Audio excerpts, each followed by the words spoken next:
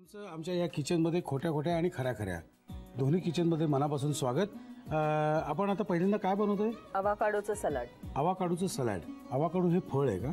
हे अवाकाडो जास्त करून अमेरिकेत मिळतं पण आता आपल्याकडे सुद्धा मिळतं आणि एकदम चांगल्या क्वालिटीचे अवाकाडो इथे मिळतात. आणि ह्याची सर्वात जास्त चांगली खासियत म्हणजे ह्याच्यामध्ये झिरो कोलेस्ट्रॉल आहे. सो डाएटसाठी अतिशय चांगलं आहे. ओके. अवाकाडोचं सलाड आपण बनवतोय. ओके आता मी तुम्हाला साहित्य विचारतो. फक्त मला सांगत चला. हा अवाकाडो आहे? कापलेला टोमॅटो? हाच अवाकाडो कापलेला आहे त्याचे पीसेस केले चेरी टोमॅटोज हाफ कट कांदा बेबीकॉर्न थोडासा बॉईल करून घेतलेला आहे. कॅप्सिकम भोपळी मिरची. अ, लिंबू वरती ड्रेसिंगसाठी हे सगळं ड्रेसिंगचं साहित्य आहे. मध पुदिन्याचे पानाचे तुकडे काळ्या मिरीची पावडर आणि मीठ. ओके साहित्य बघितलं आता कृतीकडे जाऊया पण कृतीकडे जाण्यापूर्वी मला तुम्हाला एक प्रश्न विचारायचा तो असा. ही जी स्पेशल चाइल्ड्स जी असतात ही स्पेशल चाइल्ड्स कशामुळे होतात? म्हणजे चुकीच्या डायग्नोसिसमुळे किंवा चुकीच्या औषधांमुळे? म्हणजे काय काय काय काय कारणं असू शकतात? चुकीचं डायग्नोसिस किंवा चुकीचं औषधं ही फार कमी वेळेला ह्याची कारणं असतात.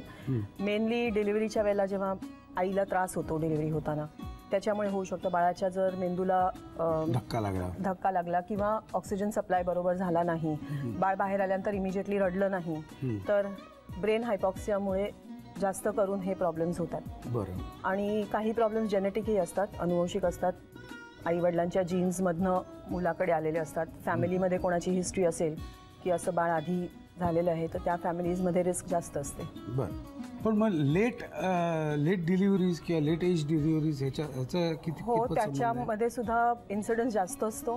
कारण नॉर्मली आपण इन्सिडन्स जो कॅल्क्युलेट करतो तो नंबर ऑफ डिलिव्हरीज त्या एजमध्ये किती होतात आणि त्यांच्यामध्ये किती बाळ अशी जन्माला येतात. अशा. हिशोबाने तो. रेशो होतो. आणि जसं वय वाढतं तसं नंबर ऑफ डिलिव्हरीज कमी होतात. त्यामुळे तसं पण ते प्रमाण वाढल्यासारखं वाटतं. पण त्याला एक सायंटिफिक रिझन पण आहे. कारण जितकं वय आईचं वाढतं तेवढी जे अंडकोशामध्ये जी अंडी असतात ती तेवढी वर्ष जुनी असतात. त्याच्यामुळे त्याचं डिव्हिजन जितकं चांगल्या ह्यानी व्हायला पाहिजे तेवढं होत नाही. आणि अशा मुला अशा प्रेग्नन्सीजमध्ये सुद्धा so what would you suggest me what is the right age for the delivery आम्ही तर राईट आम्ही तर असं म्हणेन की लग्न साधारण पंचवीस सव्वीसाव्या वर्षी करावं आणि सत्तावीस ते तीसच्या मध्ये दोन्ही मुलं होऊन जाऊ देत. एक हवं असेल तर एक नाही तर दोन before thirty you should be yes I think you should finish your family okay आता आपण हे सगळं बघितलेलं आहे. साहित्य सगळं बघितलेलं आहे. आता आपण कृतीकडे जाऊया. काय करायची कृती? तुम्हाला बाऊल म्हणजे एक बाउल बाउलमध्ये हे सगळे कापलेले व्हेजिटेबल्स जे आहेत ते एकत्र करायचे ओके. अवाकाडो आपण सर्वात शेवट घालूया कारण तो जरा नरम असतो त्याच्यामुळे मिक्स करताना खराब होण्याची शक्यता आहे. दोन्ही टोमॅटो झाले भोपळी मिरची झाली बेबीकॉर्न कांदा. कांदा. आणि आता सर्वात शेवटी अवाकाडो. आणि हे सगळं मिक्स करायचं आहे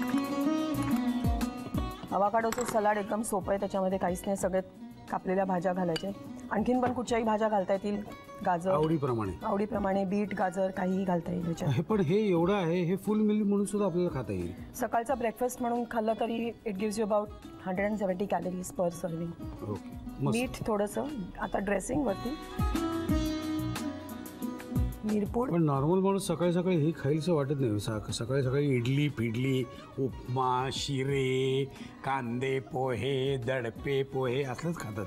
पण सकाळचा एवढा हेवी ब्रेकफास्ट केल्यानंतर काम होत नाही त्याच्यामुळे लाइट ब्रेकफास्ट करून थोडं लाइट लंच आणि light dinner I think I all your meal should be light should. Not be heavy मीठ मिरपूड घालून झाली आहे थोडासा लिंबाचा रस. हे साधारण पन्नाशी नंतर हे सुरू करा. बरं का? पन्नाशीच्या आधी हे सुरू केलेत ना आठवड्यातून दोन तीन वेळा ठीक आहे. मी असं म्हणेन तुम्ही तीस पस्तीशीला सुरू करा म्हणजे पन्नाशीला जाल तेव्हा सुद्धा तीस वयासारखेच दिसाल. आणि फील पण कराल नाही नाही आमच्याकडे ना खवय्ये जी मंडळी आहेत ना त्यांना ते जरा खायला आवडतं. हे म्हणजे एकदम खलास झाल्यासारखं वाटतं.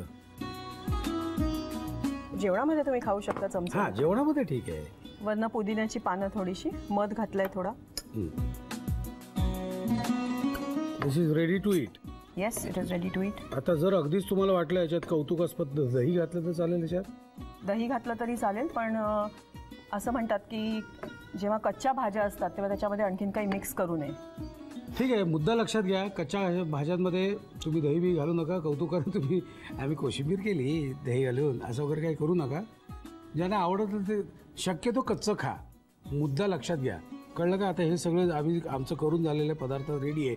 तुम्ही लिहून घ्या साहित्य आणि कृती. ॲव्हॅकॅडोचे सलाड बनवण्यासाठी लागणारं साहित्य ॲव्हॅकॅडो टोमॅटोचे काप चेरी टोमॅटोचे काप चिरलेला कांदा बेबी कॉर्न शिमला मिरचीचे काप लिंबाचे तुकडे मध पुदिन्याची पानं मीठ आणि काळी मिरीपूड कृती प्रथम एका वाडग्यामध्ये कापलेले टोमॅटो चेरी टोमॅटो शिमला मिरचीचे काप बेबी कॉर्न कांदा अवॅकॅडो घालून एकत्रित करून त्यामध्ये मीठ मिरपूड लिंबाचा रस मध आणि पुदिन्याची पानं घालून एकत्रित करून घ्यावं.